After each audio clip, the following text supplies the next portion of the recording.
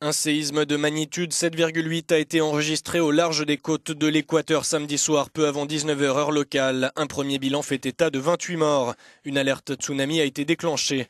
L'épicentre est situé à 19 km de profondeur, à moins de 200 km au nord-ouest de Quito, la capitale, où les secousses ont été fortement ressenties pendant 40 secondes.